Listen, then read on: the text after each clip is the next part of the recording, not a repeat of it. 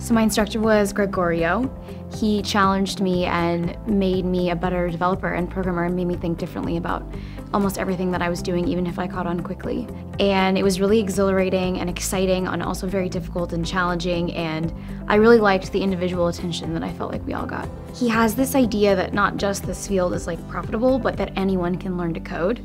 And that's like really the important part about Sabio and an important like thought that you need to put into the world. I absolutely think Gregorio's uh, real world experience uh, made me more successful as a developer and an entrepreneur. You know, his role as a mentor to me has changed over the course of time as I originally started as a software developer and then became an entrepreneur, but he's able to advise me in both areas and when I started my job day one, I knew exactly what was going to happen and how it was going to be because of my experience with Sabio you know, part of the Sabio experience is kind of just throwing you in the trenches and, and letting you figure yourself out.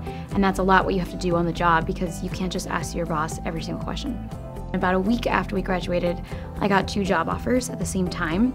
I feel like exactly what I did in Sabio is pretty much exactly how it was in my office. I am familiar with the other boot camps in the LA area, now even more so that I'm recruiting for my own company and for others and I still think Sabio um, outperforms all of them. And the reason being is that they actually hire instructors that have been in the real world for 10 years or longer and are able to provide um, you know, a better experience to the students and more information and just get them further along in this process so that when they get hired, uh, they're just much better developers to start with on day one. People get discouraged and sometimes think that coding is not for everyone, and I disagree. I think anyone can learn to code if they're dedicated enough, and the beauty of that is that the industry is is booming, it's the future, it's profitable, it's a way for anybody to have a really great career that pays the bills. So my co-founder, who comes from cohort two, and I attended a hackathon where we won a quarter of a million dollars on our idea, Beta Gig. And we recruited three Sabio fellows to help us build the first MVP of the product. You know, we put it out to everyone in Sabio, and three women applied, and we accepted them. And then they came up to live with us for two months and worked full time on the first version of Beta Gig. And I think one of the great things about Sabio is that um, while you're going through the cohort, usually you get to help a startup build their initial product. Most of the startups want to stay up to date. And so Sabio is really helping their students learn the latest and greatest of tech.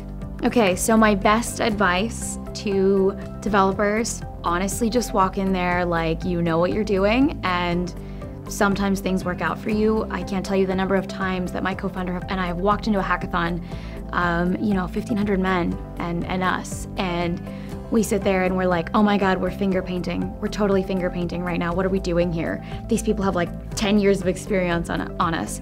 And then suddenly we just start building each other's confidence up and we just fake it. We just look like we know what we're doing and then suddenly we've made it.